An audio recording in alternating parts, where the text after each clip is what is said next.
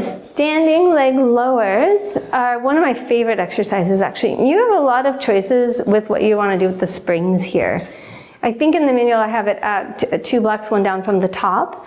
That would be sort of a standard if I want to work on both sides of that motion, meaning the stance leg and the moving leg, and work on that forward posture. And I'll show you what happens if you change the height of the spring and the spring itself in a minute too. And I'll let you guys try that when you try it out. So standard would be here. I'm gonna stand right in front, keeping my body tall. I'm gonna bring one foot right to the foot bar here. Because I have enough weight on it, I'm gonna actually divide the weight and let my body hinge slightly forward. And then I'm gonna press down and slowly back up. Now the press down is actually not the hard part. The controlling back up and keeping your body in that right position is. So most people I have them hold on and then slowly come up right at first. And then if they can, we work towards having them let go with their hands, right? And we're really working to try and help them keep work on that stance leg. So I'm really up, my, I'm not out here, right? I'm really square and tall as I go with the side. I'll just do the other side so you can see it. Right, so coming up here really tall, pushing down and controlling my way up. And I should feel light on my stance leg. So sometimes if people are back here, right, this looks very different. What am I doing now? I'm just trying to work this quad and I don't have my butts out and I don't have my weight forward in that tall posture. And really what we want is that forward tall posture, weight divided. I, one of the, my favorite cues these days is to tell people, imagine that you're about to walk up a staircase. Right, so that I should have enough feeling like I'm just about to go step right up with that next foot here. So that's the facing forward parallel. Then we do um, little turned out. So I'm going to be turned out on my leg here, the heel. I like to bring it right to the edge of the wood. And then my other foot's going to be in front also and turn out.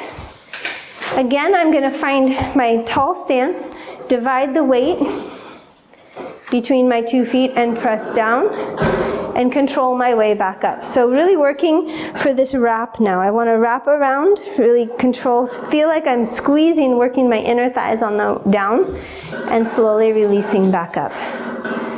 Down and slowly up, right?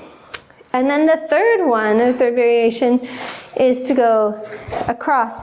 Here, this is definitely the hardest one and it's not appropriate for all people because of hip, it could be because of hip injury or spinal injury or SI joint instability. So here, uh, I like to start this one. I actually prefer to set people up when the bar is down. I'll show you why, but this is the setup, right? I'm on this leg. I want to make sure that stance hip is not checked out to the side, right? I'm picking it up and I feel like I'm almost rotating over. Now I'm really, that really helps me pick up my stance hip right? And it really helps me actually pick up the arch of my foot. So I want to plant that foot. I don't want to turn and be turning that heel.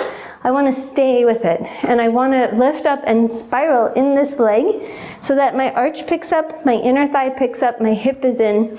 This foot's turned out this way, and then I can push down, right? So, excuse me.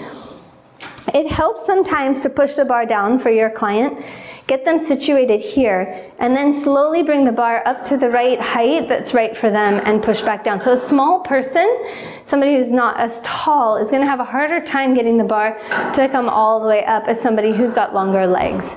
And you'll see that even in the class when you guys all try it out. So really controlling, pressing down and back up. So it doesn't matter if they go all the way up or not right? If that hip is sticking out, the bar is going to hit the leg. So if they say, the bar is hitting my leg, then you know that they're not picked up enough in that hip. They've really got to pick up and add that motion towards the chair itself. Right? So those are the three variations of that standing leg lower.